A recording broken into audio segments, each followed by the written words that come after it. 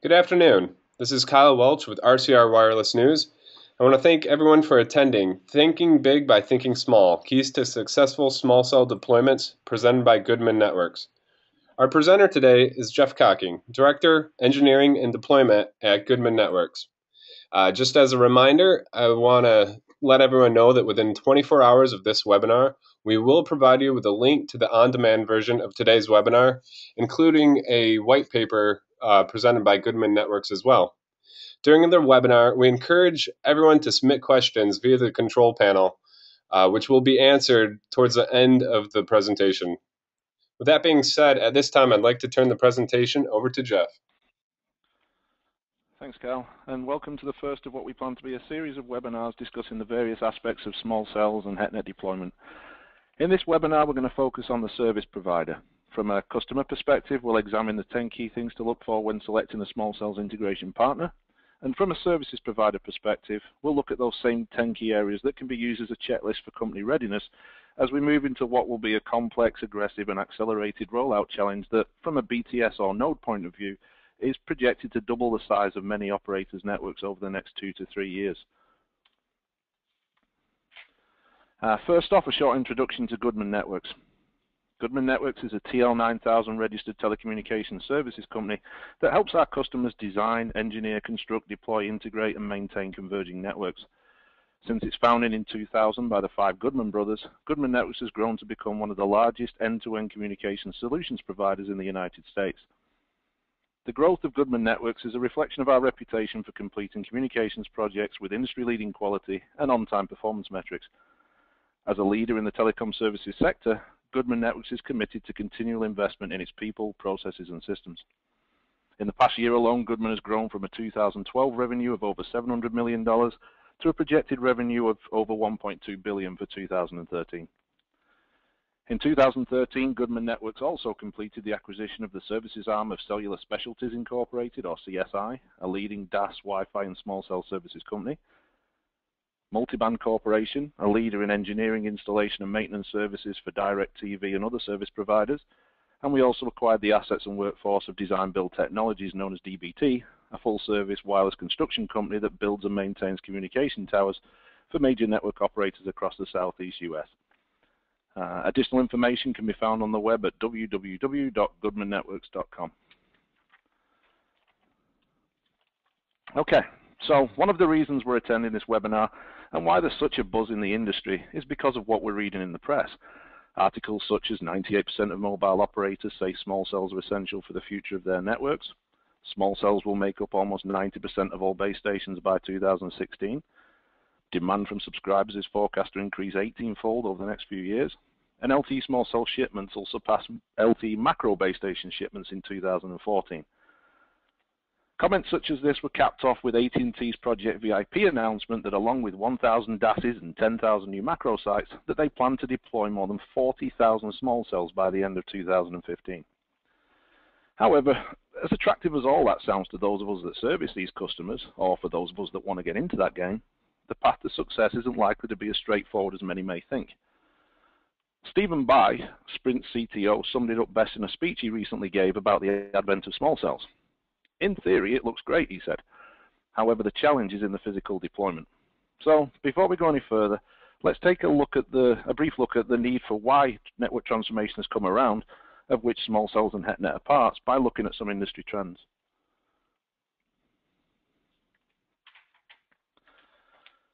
Subscriber thirst for data is forecast to exponentially increase over the next few years. Driving this growth is many factors, including such things as more services, more applications, and video-centric usage. On top of this, we're also seeing more mobile broadband users, more connected devices, and a greater usage of smartphones. But at the same time, we're also seeing from a consumer point of view that subscriber demands are increasing, user satisfaction is critically important, especially to retention of subscribers, and subscribers have zero tolerance for poor performance.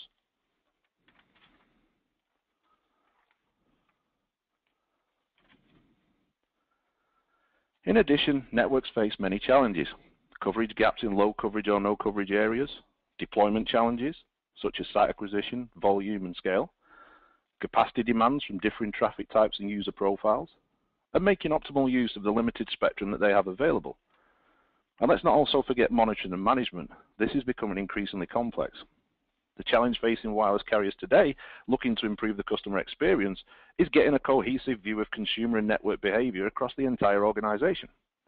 This is becoming an increasing concern as many consumers move away from traditionally easy to track voice and messaging services and into more complex data interactions.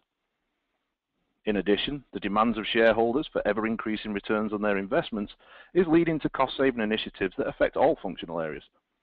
On the back of all these challenges, analysts are forecasting that the revenue per gigabyte that operators are seeing is projected not to grow proportionally to traffic growth, but that it will actually flatten over the next few years. What this means is that operators need to find new ways to reduce their cost per delivered gigabyte. And that means that they need to transform the way that they do business today. So what does all this mean from an operational perspective? Well, in no uncertain terms, wireless networks need to improve. They need to improve in terms of intelligence, automation, flexibility, resiliency, efficiency, capacity, speed, and latency. And they've got to do all this at a lower delivery cost. But the network is only one half of the equation. Not only does the network need to improve in all these areas, but so do we as service providers. So, so far we've acknowledged that small cells are going to happen. They're going to happen fast and in huge numbers. And that operators and service providers have to reduce the delivery costs. The next step is for us to take a look at some of the numbers that are being thrown around for small cells. So we'll take a large network operator as an example. I'm pretty sure you can guess who I'm going to talk about. They're going to deploy by the end of 2014 approximately 40,000 small cells. They're going to probably deploy in 2013 about 5,000. This is mostly due to the lack of a product until later this year, and also they're still working out how they're actually going to do this. So let's say they do 5,000 this year. That means the remainder is 35,000 for the next two years. So if we exclude weekends and holidays, there are roughly 502 working days in 2014-2015. This means that our unnamed operator needs to deploy around 70 small cells a day to meet their stated goals, which sounds easy. One a day for 70 small companies, 10 medium companies doing seven a day, and so on. But that's not the case when you consider there are so many other activities that have to take place to deploy a small cell. It's not just about bolting this thing on the wall and turning it on. These things are base stations after all. Their actual small size is irrelevant they still have to go through the same processes and due diligence that macro sites would. So initial timelines for these activities show phase one activities such as initial design, survey, feasibility analysis and approval taking approximately 60 days to complete. Phase two activities such as site acquisition, leasing, zoning, regulatory and provisioning taking approximately 90 days to complete. And phase three activities such as installation, integration, testing, approval and closeout taking approximately 60 days to complete. So what this means is for an outdoor small cell, from beginning to end, it's going to take around 210 days to deploy. So think about that for a moment. If a single small cell has a 210 day timeline, we've only got 502 days to deploy 35,000 of these things. So in order to be successful, the process for the majority of these outdoor sites, it will have to be up and running very, very early in 2014 to stand any chance at all of all 35,000 being ready by the end of 2015. Now, admittedly, the process for indoor small cells will be quicker because many of the challenges associated with outdoor deployments are lessened. However, indoor deployments are still likely to take at least two to three months to complete from start to finish. So it's clear from these timelines that one of the key competitive differentiators for service providers will be in their ability to demonstrate how they can minimize cycle time, or in other words, in this case, uh, minimize that 210-day cycle period. So now that we've talked a little bit about the timelines, let's take a look at the financial landscape for small cells. In a recent leading analyst report, a table for the revenue per small cell per year was presented. The numbers were fairly consistent for each year, so by taking the average value, a forecast of the annual revenue an operator could expect from a small cell per year came out to be approximately $8,600. If we assume a typical microwave link as a targeted return on investment or ROI of 24 months, and a DAS as an ROI of, or say, between 36 and 60 months, it's fair to assume that a reasonable ROI for a small cell would be something around 36 months. So if we take those two numbers, as you can see on the screen there, this means that an all-in cost of a small cell needs to come in somewhere around 25 to $26,000. But remember, that figure needs to cover everything. All the services, utilities, permits, leases, power, backhaul, and of course the small cell itself. And operating costs for those two years, three years. So some examples of the costs that are associated with a small cell are shown in the picture, but I'm sure you could add many more to this as well. So what does all this tell us? Well, first off, backhaul utilities and the small cell itself are going to take up a large amount of the available dollars. This means that services revenue on a per small cell basis is likely to be quite low. Secondly, to make any money in the small cell services sector, we're going to need three things. The first is volume, the second is cost efficiency, and the third is to provide as much of the end-to-end -end solution as we possibly can.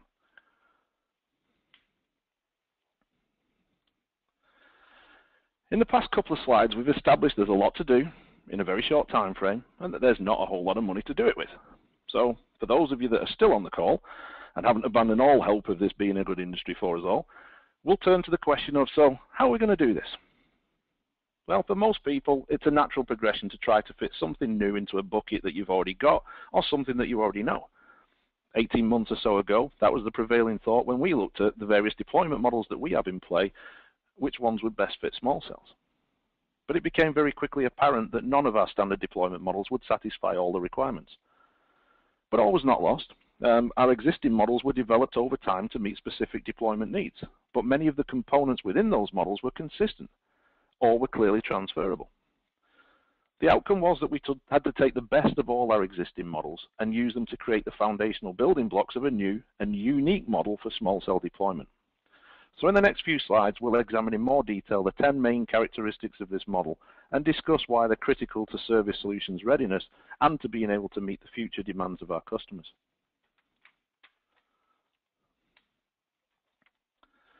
The first characteristic to look for in a potential services partner is financial health. Now we're going to see several three-legged stools or rules of three as we go through the next few slides. For financial health, the main attributes to look for are strength, security, and stability. As services providers, we have to be continually adapting to our environment and stepping up our service. What our customers desire today is expected tomorrow, basic the next day, and frankly, criminal the day after that. So this means we can't be living paycheck to paycheck, so to speak. Continuous improvement requires continuous investment. This investment drives innovation and expansion and allows ongoing development of our products and team members. Stability is the second leg of this particular stool. While financial strength allows us to innovate, develop, and grow, financial stability demonstrates that we have a handle on our core business and we're able to deliver services that are repeatable and consistent. It's what I unofficially call the McDonald's model, McDonald's put immense time and effort and money into making sure that a Big Mac purchased in, say, Orlando tastes exactly the same as one purchased in Seattle or London for that matter. Financial and operational stability also allows us to more accurately forecast ahead and leverage efficiencies, particularly in back office functions. Lastly, and an equally important leg of the financial stool is security. Financial strength and stability demonstrate sound financial health, this drives confidence in both employees and customers that the company is in the game for the long run. Our customers are looking for partners that are able to ride out the rough with the smooth and that they're invested in their business as much as they are. But they also want to work with partners who are able to stand by their obligations and commitments, or in other words, do what they said they were going to do when they said they were going to do it. The services business is a people business. Our people are, in many cases, our product, and their intellectual knowledge is what differentiates us from our competitors. It's a fact that employees are considerably happier and more motivated when they know that their company is not only investing in their long-term growth, but also provides job security. Similarly, when that company is successful and financially healthy, it's got the means to be able to allow employees to share in that wealth as well. So we've established that financial health is important. Next, we'll take a look at another characteristic that will undoubtedly be required for the rollout of any national program, and that's scale.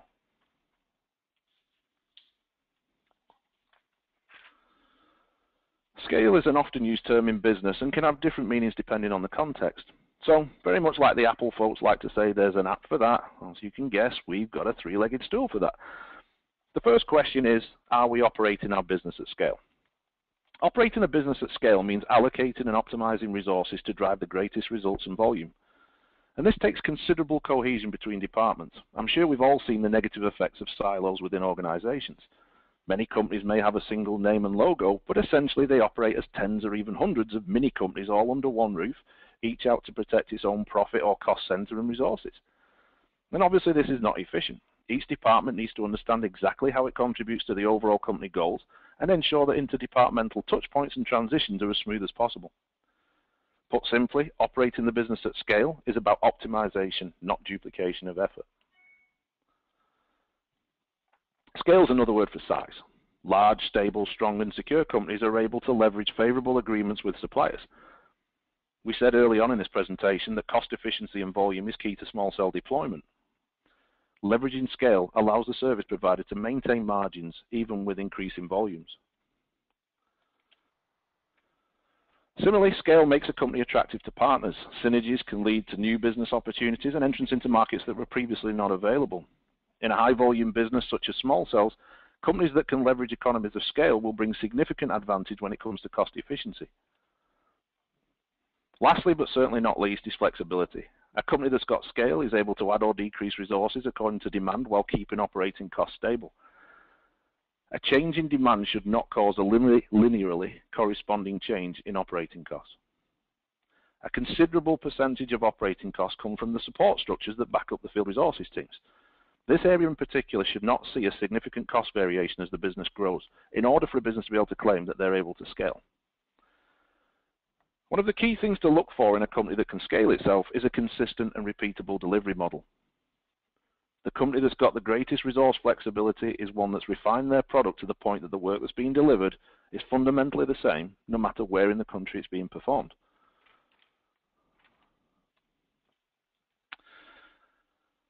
More than three quarters of the US population shares just about 3% of the available land area.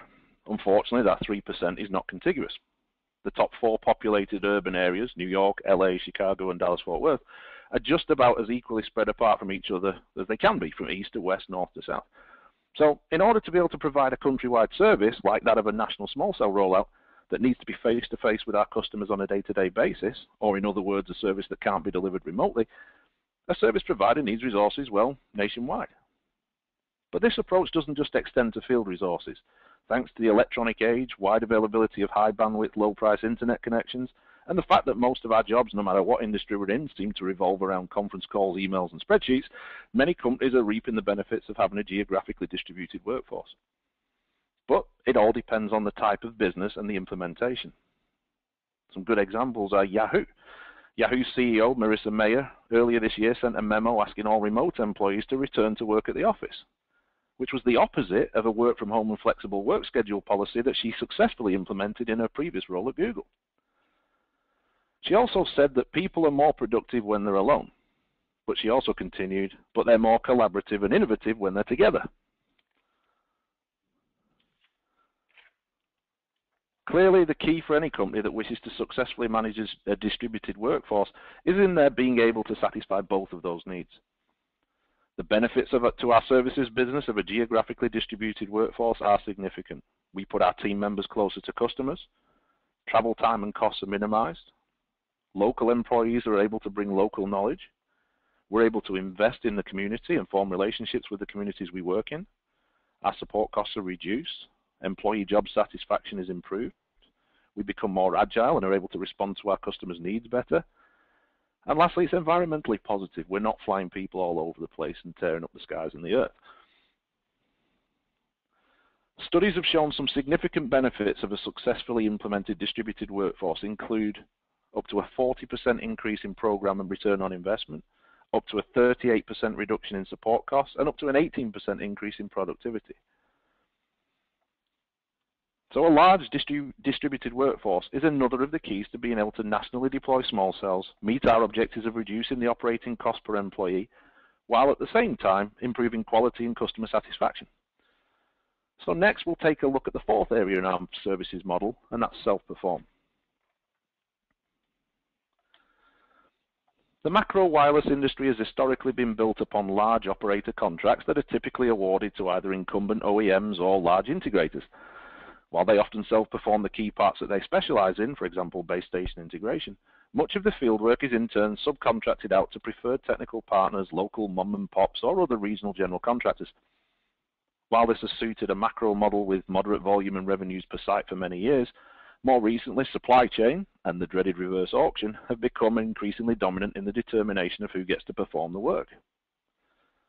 This is driven from what we spoke about earlier in this presentation about the need for operators to become more efficient to meet the demands of an exponentially growing traffic demand with flattening revenues. But unfortunately, in a supply chain dominated environment, competitive differentiation appears to be coming less from service delivery capability and more from the ability to be the lowest bidder. Now, this reminds me of a quote often attributed to the astronaut Alan Shepard, he said, It's a very sobering feeling to be up in space and realize that one's safety factor was determined by the lowest bidder on a government contract. It's very true for our industry. Clearly, while the supply chains of the world are driven to prioritize the bottom dollar, the operators' engineering, sales, marketing, and delivery teams, and more importantly, the end users who use the systems we deploy, they require an uncompromising commitment to quality and performance, as well as a low price. This combination of optimizing cost with no compromising quality or performance is what defines the term operational efficiency.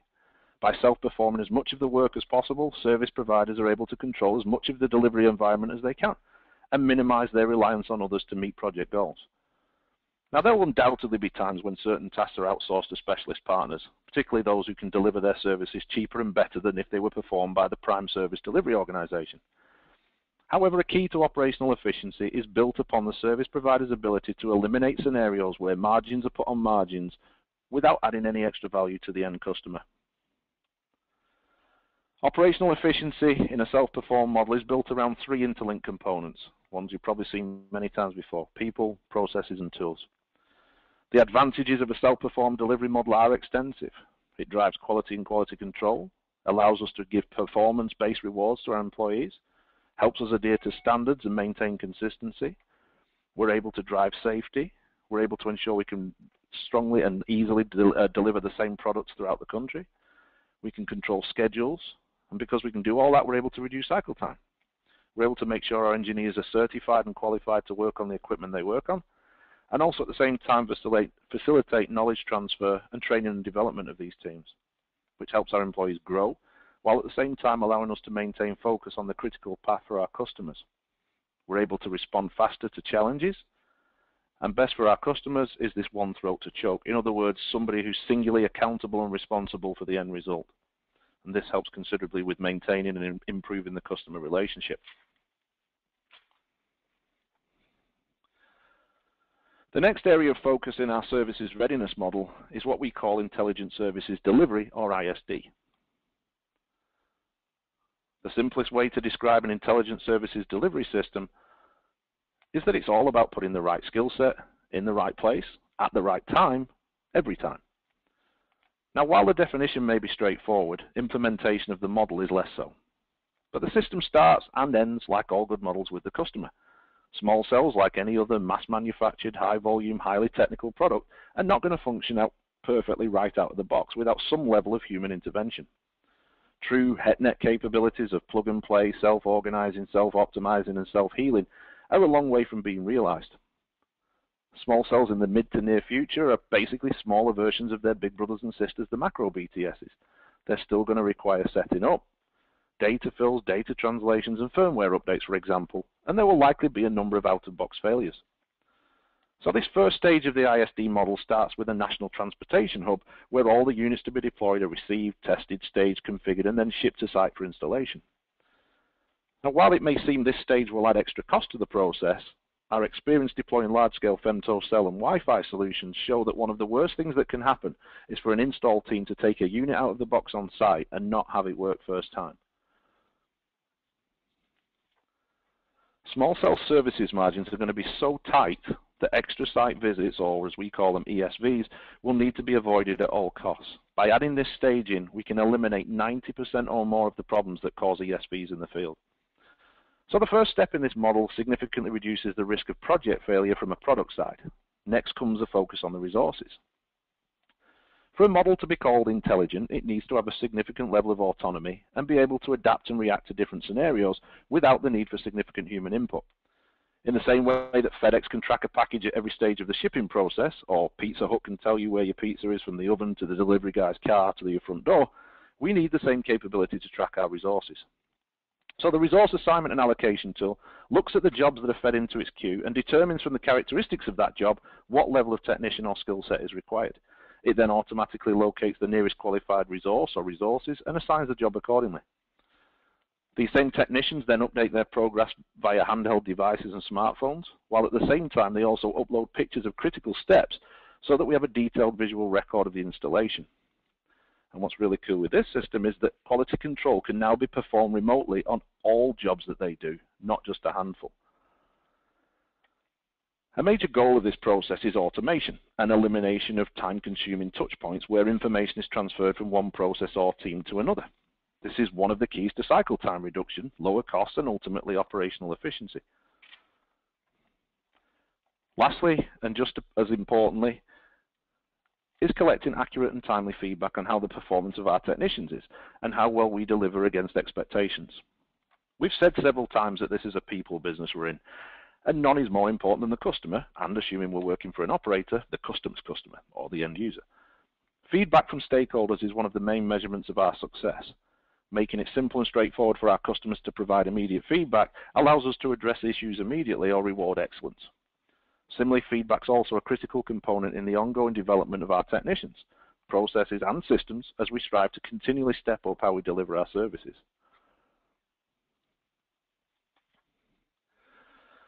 So in our discussion about the intelligent services delivery model, we talked briefly about the need to receive, test, stage, configure, and then ship the small cells and their associated ancillary installation materials to site. But in the same way that from a human resource perspective, we need to put the right skill set in the right place at the right time every time, the same applies to our non-human resources.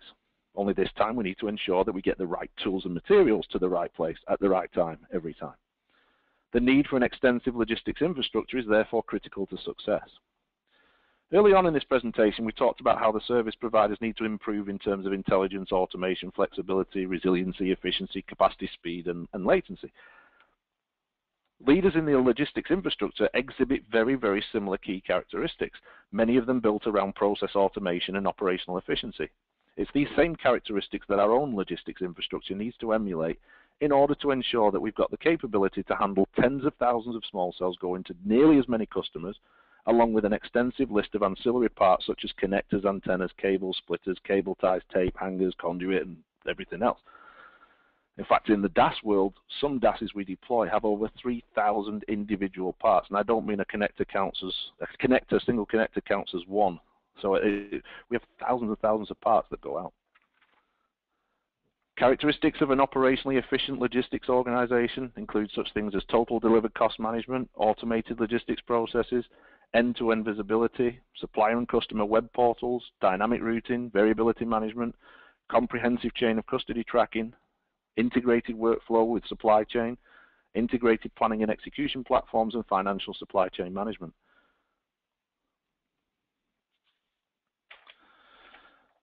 The PMI defines a project as a temporary endeavor with a defined beginning and end. So the process of deploying a small cell or a group of small cells from end to end at a customer's location would therefore be considered a project. They further define that a program is a group of related projects managed in a coordinated way to obtain benefits and control not available from managing them individually. So in our case, the deployment of tens or hundreds of thousands of small cells to different locations throughout the country is by definition a program. Now project managers often talk about the triple constraints, that is time, cost and scope, and that a change in one will create a change in one or both of the other two. Sometimes it's negative, sometimes positive. But in fact, time, cost, and scope are just three of the nine main areas that our project managers focus on. The full list is integration, scope, time, cost, quality, human resources, communications, risk, and procurement. Now, the reason for me giving you that table is not so much that it's, you know, trying to do a 101 class um, project management. It's rather it's to explain that while all these areas are critical to individual project success, program success requires us to look at some different areas. So from a program management perspective, the nine areas we need to consider start with governance. In governance, we look at the structure, the process, and the procedures to control operations and changes to performance objectives. Critical to governance, is performance monitoring through dashboards, KPIs, and metrics. Next is alignment. In alignment, we ensure that the vision, goals, and objectives of the company align with those of the program. In assurance, we verify, validate that the program adheres to standards and is meeting quality and safety requirements. In management, we ensure there are regular reviews and that there is a clear accountability and responsibility at all stages. Stakeholder management is critical, and not just external, uh, sorry, internal stakeholder um, internal stakeholders, but also external stakeholders as well.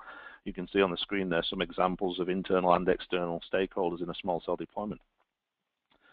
In integration, we ensure that all functional areas work together to deliver each project as operationally and technically efficient as possible.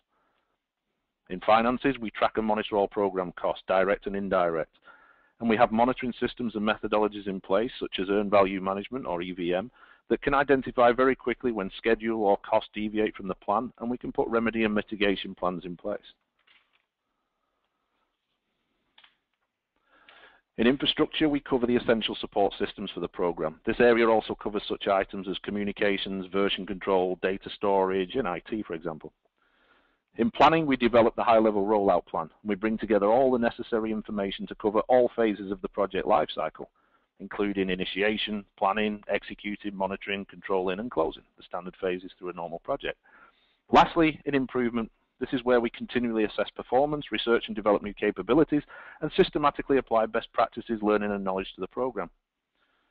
So these are all the attributes you should look for in a PMO or program management office to demonstrate that they are ready and capable to manage a rollout, the likes of which we expect to see over the next two to three years for small cells. So next we'll take a look at the infrastructure that we need to support all these moving parts.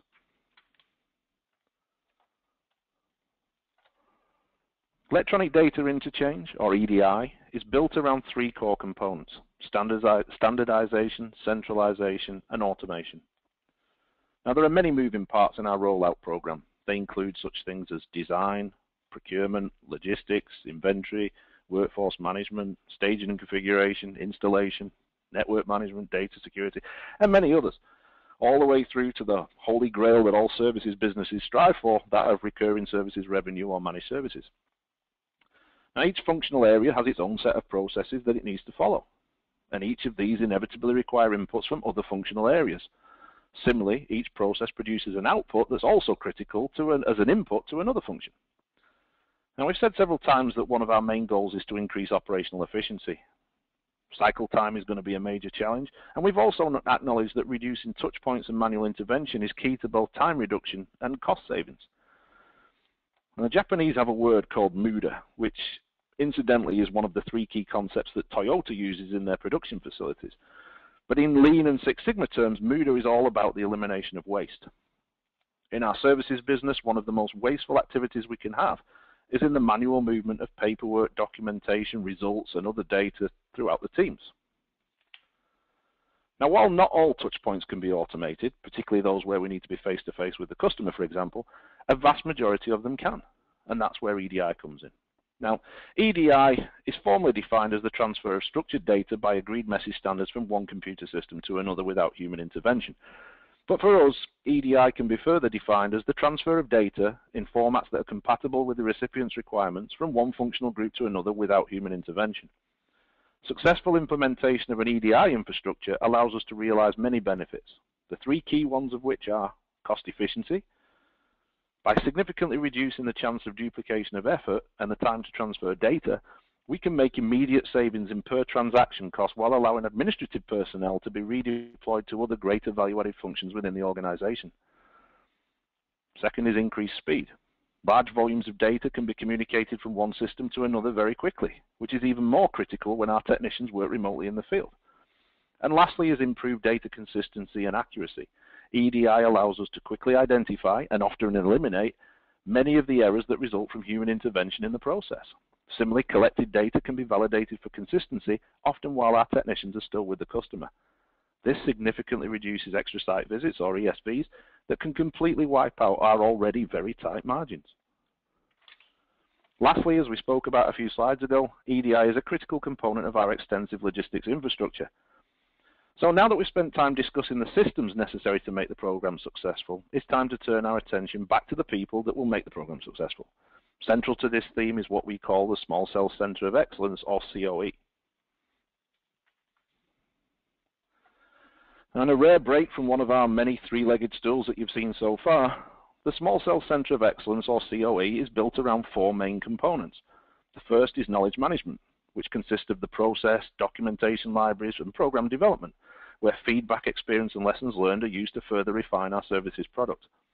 Next is pre-sales and business development, which concerns itself primarily with the strategic planning and technical consultancy activities.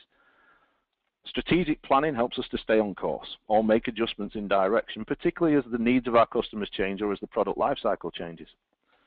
For the technical consultancy team, the old adage that we have two ears and one mouth and that should be the ratio of listening to talking certainly rings true. Experience has shown us that we learn far more about how to meet our customers' ever-changing demands and needs by asking questions and listening to their answers than we do by spending the majority of our precious time with them going through exhaustive slide decks about who we are and what we can do. Third is training and labs. This is where all our resources, not just the field technicians, receive the hands-on training, boot camps and refresher courses they need to ensure that they're always equipped with the right skills and tools to do their job effectively. Many of these courses are delivered remotely via web-based learning systems and videos. And the COE ensures that training is not a one-way street. Employees are encouraged to share their experiences with others and participate in such things as train-the-trainer sessions or mentor programs. This is all part of doing everything we can to ensure that the product we deliver consistently meets customer expectations. The fourth part of the Center of Excellence is the Solutions Group. I think it was John Donovan of AT&T who recently said that invention is coming up with something new. Innovation is consummating that with the customer. Or put in other words, taking a good idea and coming up with something that the customer is willing to pay for. The Center of Excellence, and particularly the Solutions Group within it, are the team who tie together all the knowledge, skills, and best practices that we have as an organization and turn this into innovative solutions that solve our customers' challenges. But this is not all. The COE also do lots of other functions. Some of them you can see on the screen there. They look at methodologies and templates, proof of concepts, custom solutions, newsletters, white papers, papers, certifications, boot camps, some elements of governance, market trends forecasting, KPIs, dashboards, they attend conferences and so on. They have a very extensive remit of things they have to do. Lastly, and certainly not least, we now turn our focus to partnerships and the synergistic benefits that can be derived from them. The intention of this section is not to talk about partnerships with our subcontractors and vendors. After all, one of the keys we said earlier to success is that we need to self-perform the majority of our work. So our focus in this section is on the relationships we have with our customers and how they can be leveraged into realizing additional advantages that the two parties working together can have versus them working independently of each other. But before we get there, we need to look at the bigger picture and see how all this ties in together with the previous topics we've talked about. So a simple strategy map will help us do that.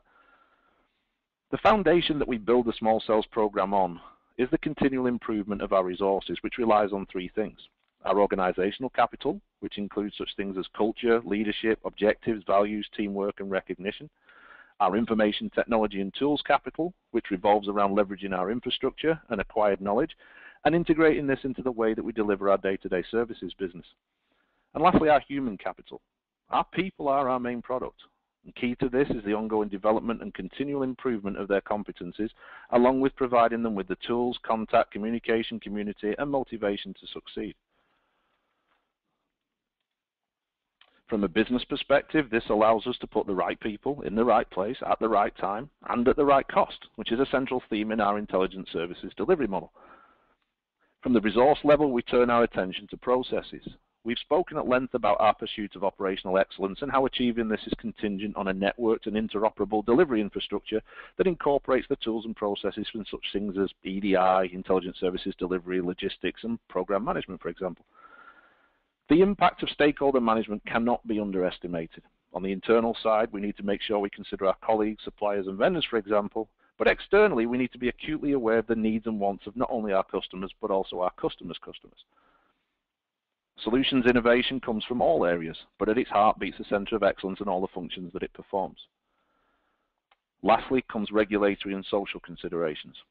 Small cells have many, many significant challenges that will need to be overcome. Some of them are regulatory, such as rights of way, leases, legislation, permitting, zoning, and so on. But some of them are going to be more social, Particularly outdoor, small cells will have an impact on the local communities in which they're deployed. Aesthetics, neighborhood disruption during installation, and public opinion are but a few areas that we need to carefully navigate as we go down the deployment route.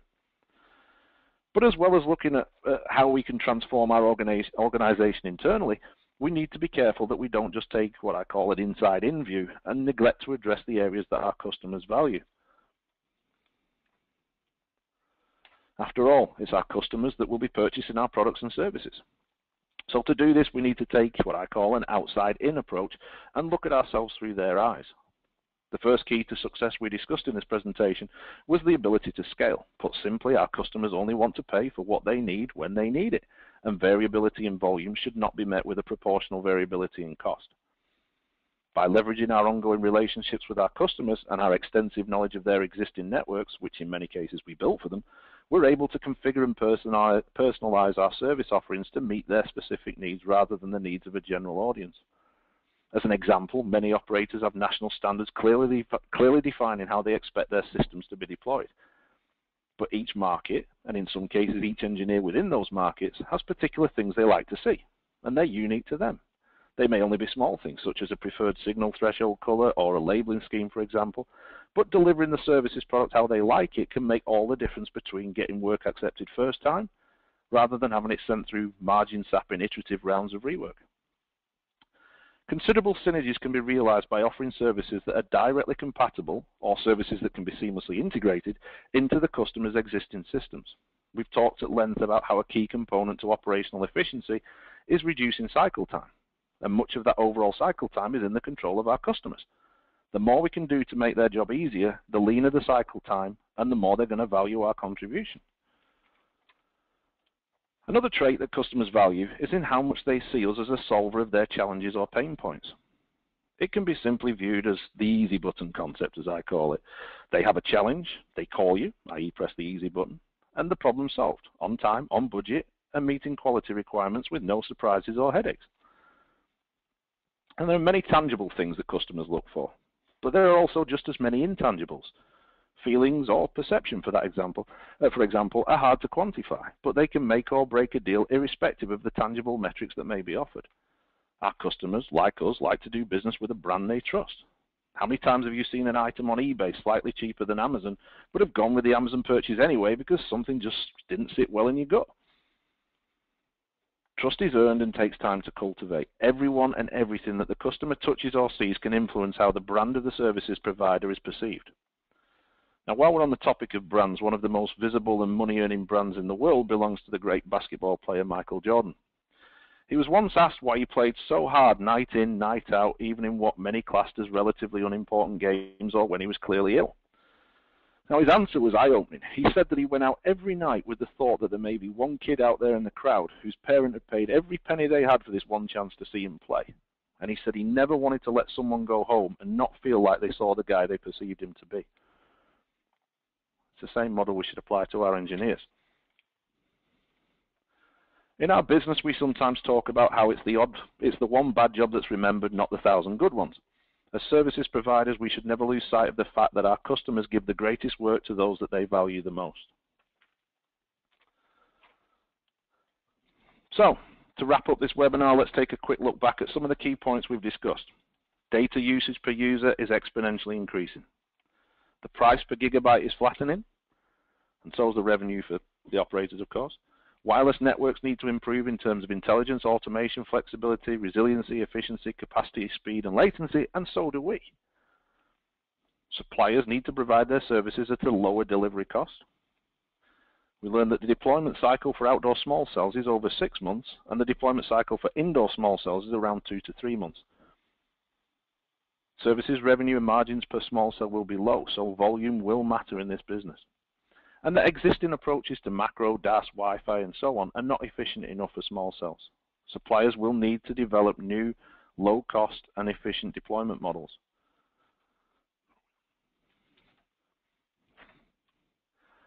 And we looked at 10 key areas that for service providers will help us achieve small cells operational excellence, and for customers, a handy checklist for evaluating potential service providers and service partners.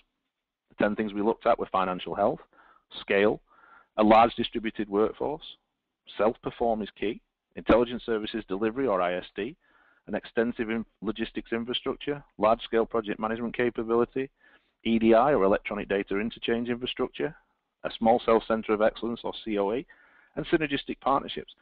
we also talked about by delivering our services that maximize value to the customer, we can hopefully become what I call their easy button for their entire small cell related needs.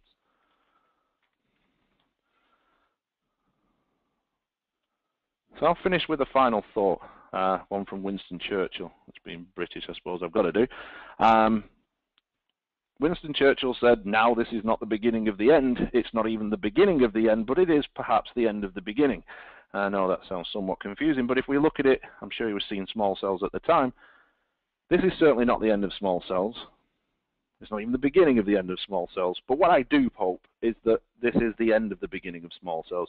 We've spent the last two years talking about small cells um, and waiting for the advent of them to come, certainly from a services perspective.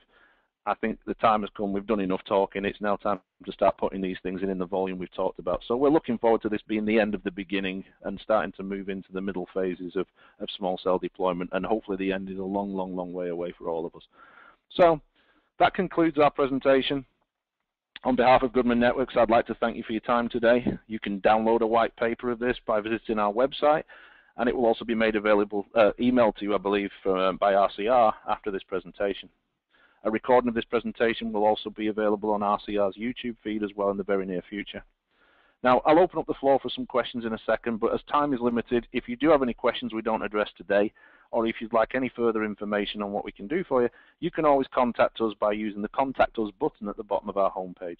With that, I'll hand control back over to Kyle at RCR and uh, open up the floor for any questions. Thank you.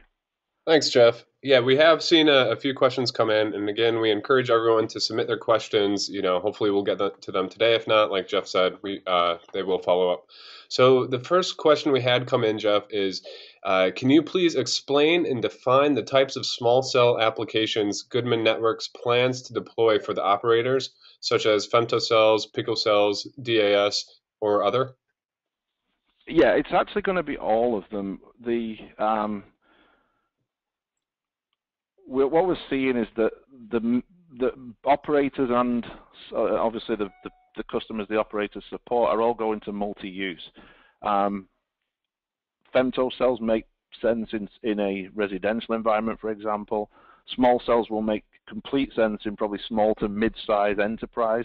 And DAS still has its place, certainly in the larger enterprise, large stadiums and things like that. And macro still has its place. Macro is not going anywhere, as you saw from Project VIP. AT&T are still going to build another 10,000 of these things. So macro's not going away, DAS, Wi-Fi. But what you're going to see is rather than one solution fit all, we're seeing solutions where they're blended. So we, in part of the buildings or the structures, we may see um, femto cells being deployed, for example, in a residential part. Um, in the sort of lobby area and, and, meeting room parts, we may see small cells deployed, and then in other parts of the building, DAS makes complete sense. So um, we do we have to do them all because uh, HetNet or the heterogeneous networks that are coming along it's all about having multiple layers, multiple technologies, and putting the user on the right technology for whatever application they're trying to use. So um, I think to answer the question is you have to do them all and you have to be experienced in them all. Um, and it's really finding a, a, services partner that understands how all this fits together to be able to provide you with the solution that you need, not the solution that they want to sell you. Um, so it's that's probably my answer to that one. Okay, thanks.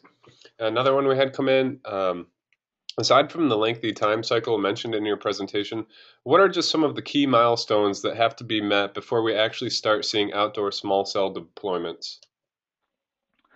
Um, well, the first one I think, or the biggest one, is is that we need the carriers to to work out exactly what it is they want to do. Um, in a lot of carriers' cases, they their strategies are not 100% clear yet. Um, the downside for us, as we talk about, is the day the carriers decide what they want to do, they expect us as service partners to be ready the very next day to start deploying this stuff.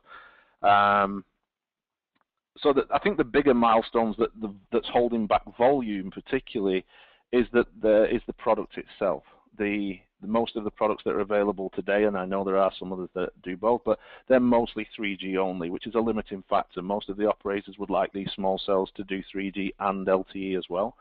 Um, so we're waiting on products to be developed because anything we deploy today for that's 3G only will we have to be ripped and replaced later on to uh, to be compatible with LTE as well. Um, I think the true capability of HetNet, that self-organizing, self-optimizing, self-healing, is is still a way off. Um, so the units we deploy today are just basically small base stations, which isn't the true HETnet we're looking for.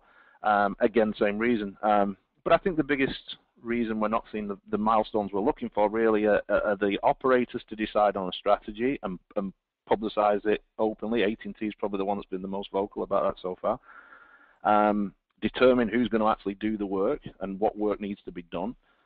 Um, and then obviously for them to start going through the process of selecting vendors and, and, awarding that work. But key to all of this is we need something to put in. And uh, right now, the products are just, you know, the, the hype is way ahead of the product, should we say. It's not that the products are falling behind schedule, they're not. It's just the hype around small cells is, is way ahead of the product availability right now. So we're, we're really waiting on, on the products and the operators. Okay. Um, another question coming in: Does Goodman manage nationwide deployments, and does do they also do indoor and outdoor deployments? Absolutely. Um, the, you, some of the acquisitions I spoke about earlier were when we looked at these 10 things a long time ago, one of them was that we need to have a nationwide workforce, and that's why um, we acquired the Multiband. Multiband has over 3,000 technicians with vans and that's what we need. They deploy right now DirecTV satellite services, but it's a very small step from putting a satellite dish on a roof and coax and cable and connectors and a box in a house or boxes in a house to stepping them up to go to small enterprise and re- it's, it's a small jump to retrain them to do small cell. Of course, they're going to continue to do the core business they've got. The advantage is it gives us literally 3,000 people across the, the country that can do this with vans, with the capability to climb ladders and everything else that we're looking for. So um, on that covers a lot of the outdoor. Obviously, we do national um, outdoor work already. And then on the indoor side, um, we also acquired, we used to do DAS anyway as part of our business, but we expanded that by acquiring CSI. Um, and CSI was literally so we can expand our in-building DAS capabilities. CSI so far have deployed, I think, over 9,000 DASs in the last 12 years. So we've done so many of these things, both indoors and outdoors. But we do acknowledge that the challenges are going to be different. Um, you know, right, we, we and, and I think our customers are seeing that, you know, AT&T, for example, have separate teams doing the indoor part and the outdoor part. It's different tools, it's different um, challenges. Outdoor is going to be a much greater challenge than indoor, but again, if you've got people who've got the experience from outdoor and indoor and you can put them both together, because um, remember these things don't work in isolation; they've got to work with the macro network as well. So it takes, you know, you need the skill sets to be able to understand how these small cells are going to fit into the macro network and also uh, and work with the macro network, but also the challenges around how to get around things like outside plant, you know, um, fiber trenching and fiber work outside is completely different from pulling cable inside, for example. Okay. Uh, do you see any unique antenna requirements considering the multiple small cell applications? Not right now, no. Um, the units that we're looking at now are being asked to deploy now. We can deploy the same antennas and, and jumpers that um, that we use with DAS. Um, future solutions, I think, will will become a lot. Right now, the units are very much single operator or even single carrier, not operator. Um, it's one of the challenges for the industry is that we don't, it might be a small cell, but if you need one per frequency or one per carrier per frequency, a small cell suddenly becomes a big cell when you deploy AT&T, Verizon, T-Mobile and Sprint in the same location because you've got to put five or six or seven of these boxes on a wall. You might as well just put a full-blown base station in. So I think future development of small cells, you'll see aggregated um, aggregated solutions. They won't be quite DAS. I mean, DAS really isn't a small cell because a DAS just distributes signal. But we're starting to see DAS is fed by small cells um, as much as we're seeing them fed by macro cells. Um, but you'll also see uh, solutions where the, the, the radio resources, if you like, are hosted separately from the small cell itself. So the small cell will become more of an access point like Wi-Fi, and the capacity will be held in a controller or some other remote location one of the key benefits to this is that a lot of the small cells have very fixed capacity. For example, the ALU ones, I think, are, well, I don't think they're, they're 32 users. Um, but what's the point of having 32 users capability in a warehouse that might have three guys on pick, uh, forklift trucks driving around all day? What I want is a cell that covers that warehouse, but if that capacity is not required there, I can move it into the office building that's attached to the warehouse. So if we detach the coverage from the capacity part, we can do that. So I think the next generation of small cells that are coming out will come out, um, and we're already seeing these, um, but they're just not approved yet by the carriers. They actually separate coverage and capacity, and so you have a controller that holds the base station capacity or pulls all that capacity, and the units act more like remote antennas that are multi-band, multi-frequency, multi-everything. So it's again, it's kind of we're taking the best of DAS and we're blending it, or the, the manufacturers are, and they're blending it with the best of small cell as well. Okay. Uh, what kind of data is considered good data in terms of traffic for designing small cells? Right now, we're, we're seeing um, the biggest data from a design perspective we're still getting from going out and doing benchmarking and um, CW test analysis. So we're not seeing that the process between DAS and small cells is particularly different. Obviously, indoors where the there is limited data because most of these solutions are not deployed just for capacity; they're deployed for for coverage. So there's no coverage inside a building, so we really don't know what's going to happen when we put this in there. What we do know is whatever is expected from a traffic perspective always seems to be considerably more once we deploy one of these. So if we if we think we're missing out on 10% of traffic because a building doesn't have any coverage, when we deploy these things, it ends up being a lot more because when people suddenly realize they do have coverage, they start using services a lot more than they did before. But we do put a lot into collecting, particularly the benchmarking data for um, for coverage, because the signal levels inside the building have a huge impact on isolating the indoors from the outdoors. If it's very strong inside, we have to put the cells a lot closer together to be able to isolate you know the building from the outside. If there's no coverage inside, we can get away with much wider spacing, providing it meets the capacity requirements. So bigger questions are: what's the signal inside the building? What are the signals outside the building? So isolation, and then also what's the user mix inside the building as well a lot of these premises are not just one carrier users. They, unless their entire workforce is all on AT&T or Verizon, it's a mixed bag of tricks. You've got people on T-Mobile, Sprint, Verizon, and so on inside that building. It's being able to work with the customer and understand how many users are on the techno or on the carrier that is whose small cells you're trying to deploy. Okay, we have time for one more question. Uh, what do you feel will be the evolution of small cells from where they are today? Yeah, I think I talked a little bit about it. I think there's going to be a um, the regular small cells have got their own place, which is where it's a fixed capacity. They're going to more or less replace the repeater business. Um, you know, repeaters just take a signal from outside and amplify it and indoors, um, but they don't solve capacity challenges. All they do is just basically add coverage. Um, so there will still be a market for regular small cells, which are just pretty much a box with two wires on it, one for backhaul and one for power that will handle small, very small enterprise. Um, but as I said, I think the future development of these things is going to pooled resources, where we separate coverage and capacity. Um, it makes complete sense to not restrict a small cell to be being the the signal source for resources as well.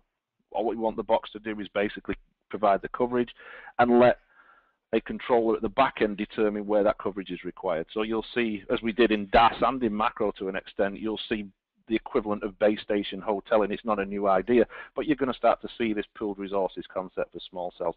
Further down the line, you're going to get HetNet coming, and that's the true um, plug and play, if you like. Um, the fact that we're not yet seeing it really, I mean, you can't go and buy a router or whatever from um, Best Buy and just plug it in without it working. Even if it says you can, you've still got to do something to it. Um, so whether that will ever materialize, I don't know. But um, further down the line, we should be able to plug one of these units in anywhere, and it will automatically sniff the air, work out where its neighbors are, work out where it is, configure itself, download new firmware, and then just start functioning. And if one of its neighbors suddenly disappears, all the cells around it reconfigure. They adjust their power settings, their neighbors, their parameters to basically eliminate that gap. Capacity will be diminished, but the actual coverage won't be. So um, we're all looking forward to seeing self-organizing, self-healing, self-optimizing. It kind of scares engineers because it basically says we don't need you anymore. But um, like I say, I think those days are a long way off yet. We've got a lot, a long, long way to go before we see that, and um, and we're really looking forward to seeing what's coming along next. Okay, thanks, Jeff. I want to thank everyone for attending Thinking Big by Thinking Small Keys to Successful Small Cell Deployments, presented by Goodman Networks. Uh, our presenter today was Jeff Cocking. I want to thank Jeff, and if anyone has any questions, uh, feel free to contact us, and we'll do our best at answering each one. Thank you, Jeff. Thank you.